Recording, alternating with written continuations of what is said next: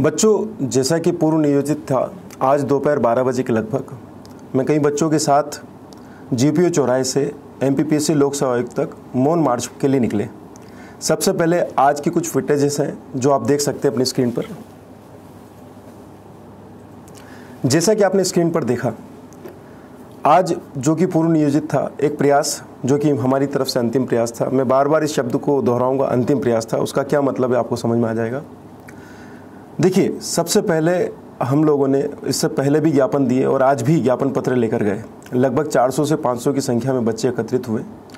ये अलग अलग जगहों से आए हुए थे, एकत्रित हुए थे।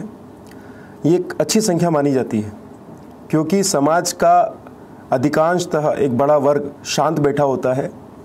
इस बात को मानते हुए कि हमारे लिए कोई और लड़ेगा। डेफिनेटली इसमें कोई बुराई भी नहीं है, क्योंकि अधिकांशतः बुद्धिजीवी लोग यही सोचते हैं। कि उन्हें सब कुछ बनाए बनाए मिल जाए, बना, बनाए मिल जाए और उसको सीधे वो खा लें। बाकी लोग मेहनत करें तो इसमें कोई बुराई नहीं है।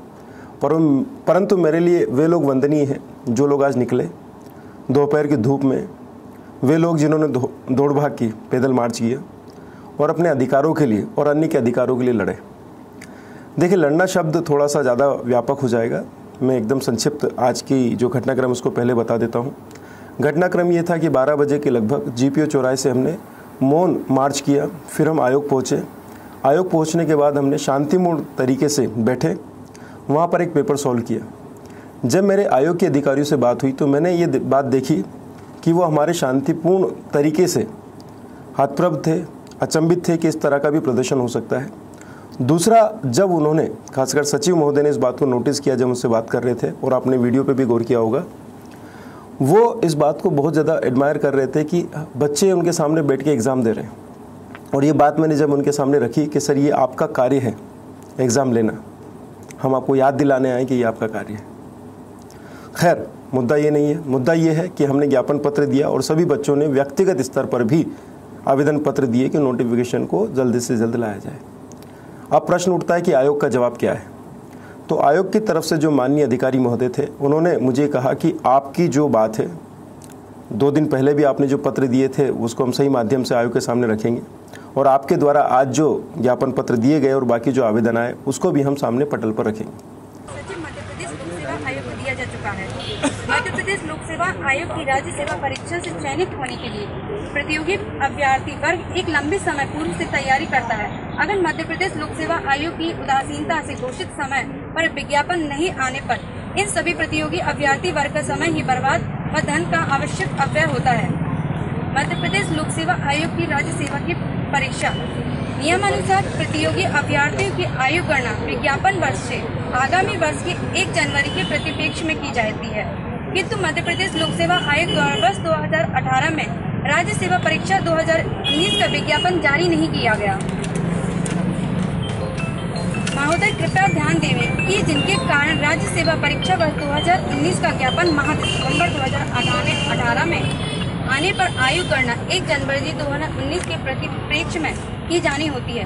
किंतु विज्ञापन दिसंबर 2018 में नहीं आने के कारण तथा आगामी माह पर आने पर प्रतियोगियों की आयु गणना एक जनवरी 2020 के प्रतिपेक्ष में किए जाने पर प्रतियोगी की वास्तविक आयु से लगभग एक से ग्यारह माह तक की अधिक अवस्था में होगी, जिनका नुकसान प्रतियोगियों को अवसर की कमी के साथ वास्तविक आयु से पूर्व ही अधिकतम आयु प्राप्त कर लेने के रूप में समस्या समक्ष में आने की संभावना है।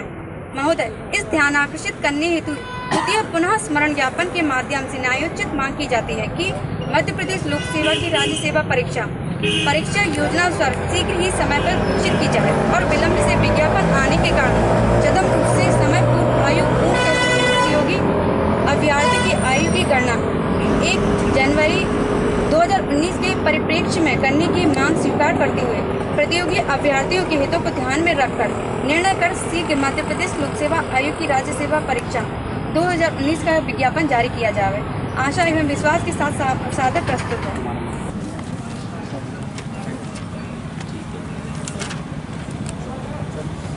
ठीक है भाई, आपका जो ज्ञापन है वो उचित जगह पहुँचा दिया जाएगा। और वोटेवर जो भी आपके में अच्छी कार्रवाई होगी, वो आयोग द्वारा की जाएगी।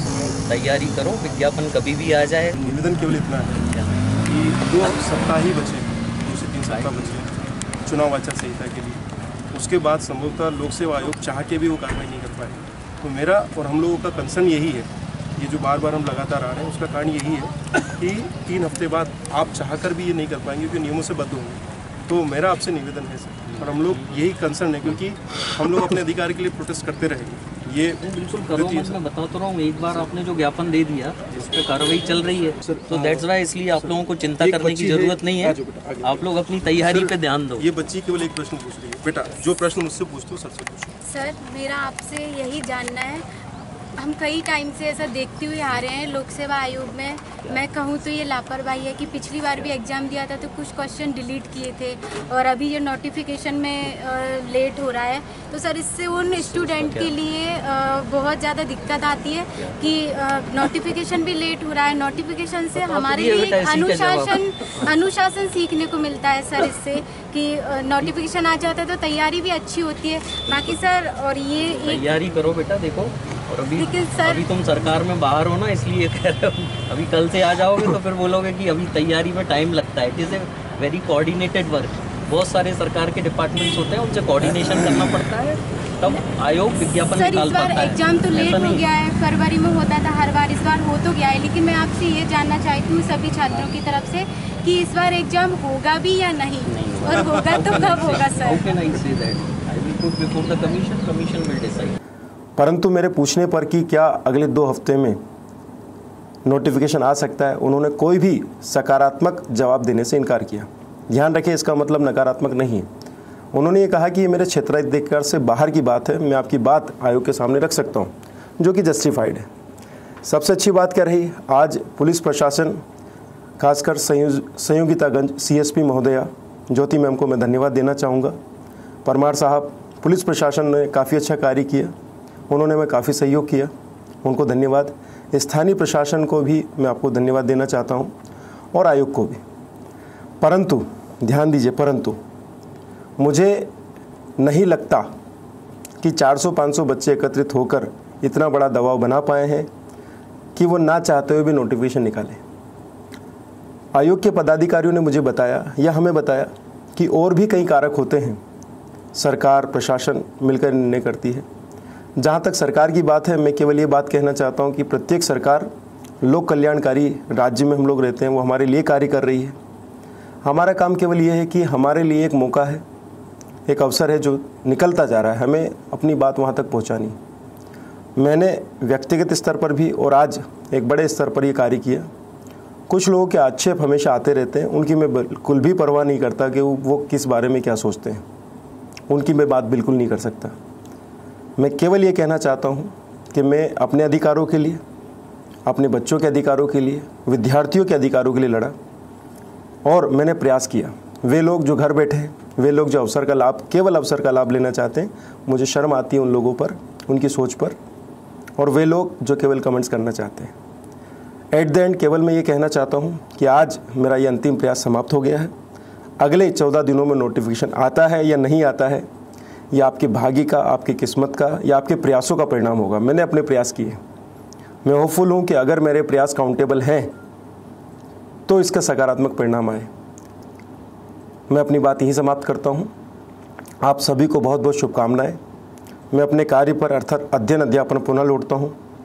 मुझे केवल ये कहना है आपसे कि मुझे उम्मीदें ज़्यादा थी, क्योंकि ये संख्या जो 500 की थी, ये पाँच हज़ार हो सकती थी। और अगर ये पाँच हज़ार होती तो हो सकता था 24 घंटे या 48 घंटे में नोटिफिकेशन आपके हाथ में आता। खैर, मैं एक अंतिम सुविधा आपको दे रहा हूँ। यूट्यूब चैनल जो है, उसके नीचे एक लिंक दे रखा है। वहाँ पर ज्ञापन पत्र हैं, आप उसे डाउनलोड करें साइन करें या फिर अपना ज्ञापन पत्र खुद तैयार करें। और एमपीपीएससी को वो रजिस्टर डाक से भेजें, क्योंकि जो व्यक्ति अपने घर से अपने अधिकारों के लिए नहीं लड़ सकते, वो ये भी नहीं करेंगे। तो मेरा निष्कर्ष ये है आज कि हमने अपने प्रयास किए जो कि महत्वपूर्ण है। रिज़ल्ट पता नहीं।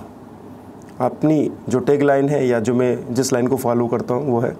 कर्मण्यवादी कारस्ते माँ फलेशु कदाचन। अर्थात कर्म किए जा, फल तो कभी आपके हाथ में था ही नहीं। ना वो फल मेरे हाथ में है, ना वो फल आपके हाथ में है। पर अफसोस इस बात का है कि कुछ लोग कर्म करने को भी उत्सुक नहीं है। खुशी मुझे इस बात की अपने बच्चों के लिए और अन्य बच्चों के लिए जिन्होंने कर्म किया। मैं उन सभी को तहे दिल से शुक्रिया अदा करता हूँ। धन्यवाद।